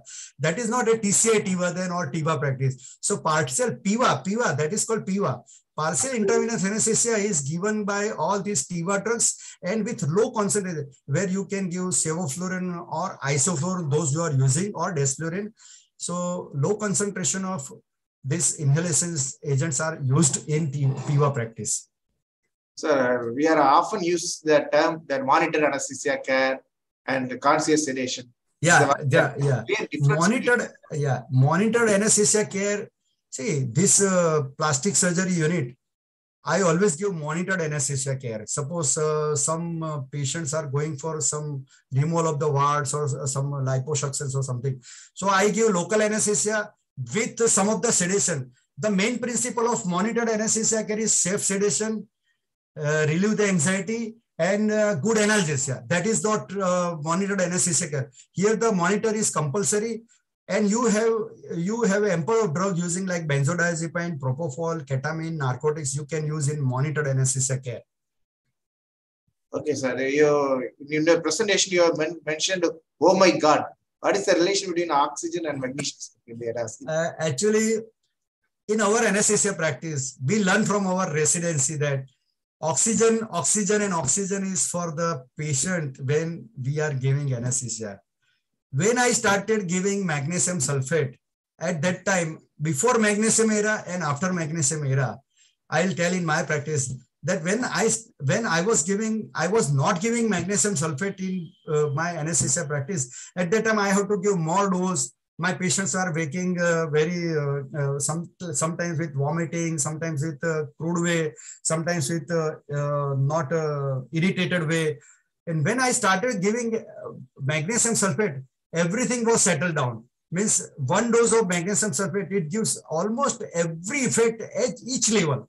And believe me, when those who have used this magnesium sulfate, they will experience that how. So I call it is called a intravenous oxygen. Whenever you want to give oxygen intravenously, then you can. So I called and this this this word is there in the internet also. Oh my g with oxygen with magnesium sulfate. So oh my g oh my god. That's all. Okay sir. Thank you very much sir. already they have started uh, requesting the your ppt presentation and okay. uh, books also. You have mentioned yeah. that uh, my my presentation i will share with you. My all infographics i will share with you. And i have created one textbook for the students where drug infographics for the drug infographics special for the TCI TIVA and TIVA. That is a 46 page of the color book and it is a soft copy. I will I will also give my all these uh, Absalom textbooks of uh, around thousand pages to you, and you can distribute to your all. I will share to me. Yeah, yeah, definitely, sir. Thank you so much, uh, to sir, for spending your valuable time, and also yes, I thank the Shivkumar sir we come to the end of this session. I thank, the organizer, sorry, sorry, the sponsors, the Akrula, the A1 Logics, and also the Anesthesia TV. Thank you, Anandal, the viewers. We will meet next week with a more interesting topics. Thank you to sir. Thank you, sir. Thank you.